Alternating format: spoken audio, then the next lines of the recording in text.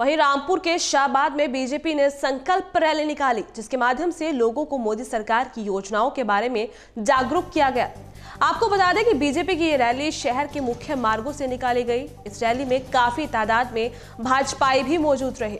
आज भारतीय जनता पार्टी की विजय संकल्प यात्रा है हमारी, जिससे कि जो आशा पार्टी के योजनाएँ बनी जो जनता तक नीचे तक पहुंचाई गई वो करता आज विजय संकल्प यात्रा निकल रहे हैं।